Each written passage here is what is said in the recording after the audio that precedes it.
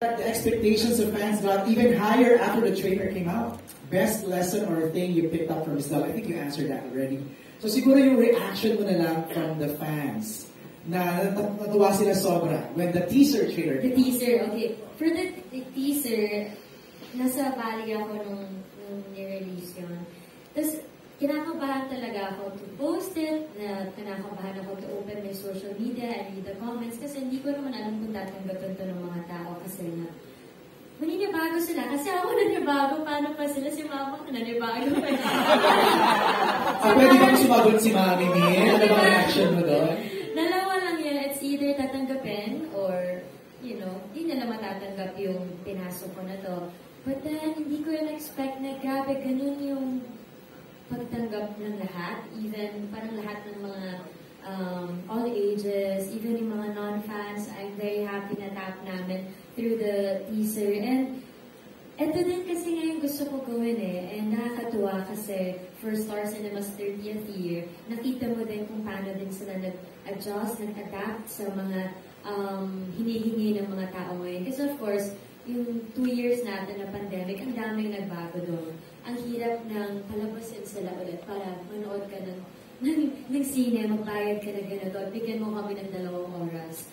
So, we really uh, need, uh, we really needed a good material para bigyan ng, ng oras ng mga tao. So, nung nalabas na yung teaser, parang na, hindi ko in-expect na ganun yung reaction nila. But then, siguro more of na-pressure ako, mas na-excite ako kasi confident ako sa material namin. Because the storyline, the plot, everything, thank you, Dom, Dan, and Jumbo, confident ako sa material namin. So, yun. And maybe isa pang lesson na tutunan ko kay Ms. D, aside from yung sinabi ko kanina, was um, you have to be patient.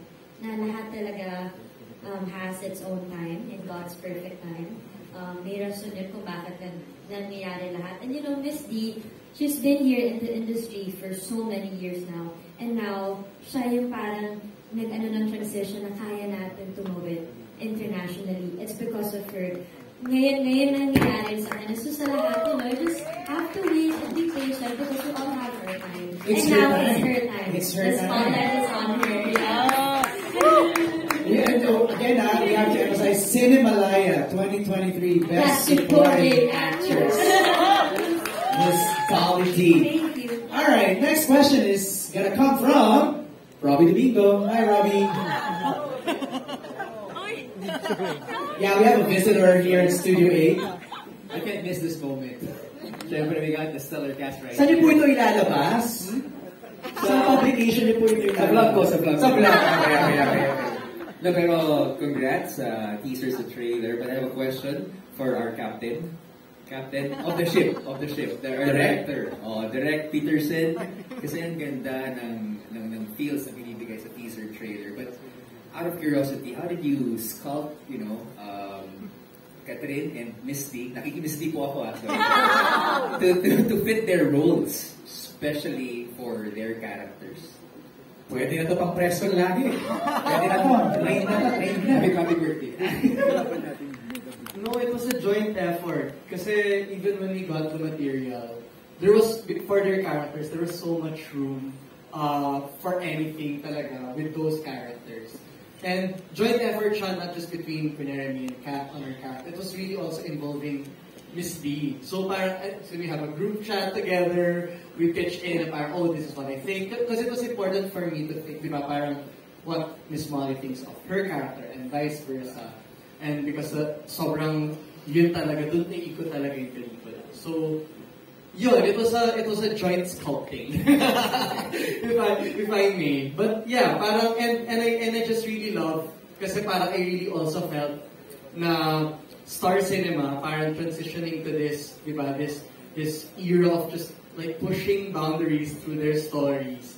Na binigyan din nila kami ng parang ako na feel ko yun, may creative freedom kami to to really like kasi una ko pa lang kita yung material, gagawin natin to. Ah, talaga?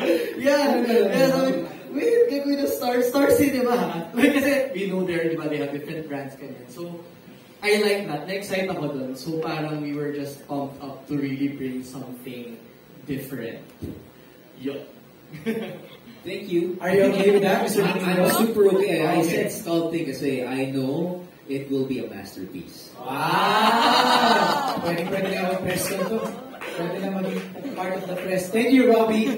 Um, sa ating mga creators, Dom, Dan, and Jumbo, narinig niyo yun from uh, Direct Peter, anong nararamdaman ninyo? Dom?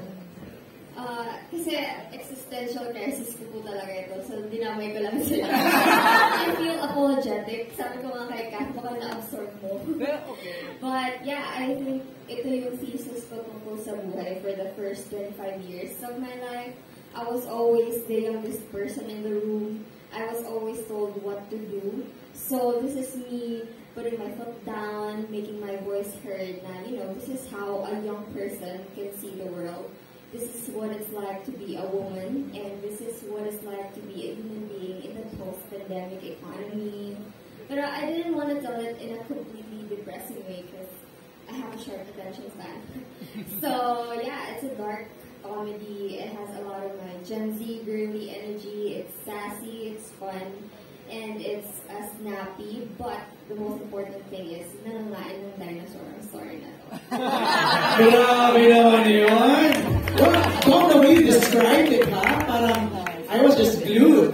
Parang in a, in a few minutes, parang ano mo siya, na nabigyan mo kami ng big picture of what it's gonna be. Galing, ha? So this is like your life story, Well, pretty much. I don't wanna uh, name names. Okay, let's move now to uh, questions from Janice Navida of Bulgar. Her question, is, first question is for Catherine. Sabi niya, since childhood, you have a wholesome image. And uh, looked upon by as a role model by the youth.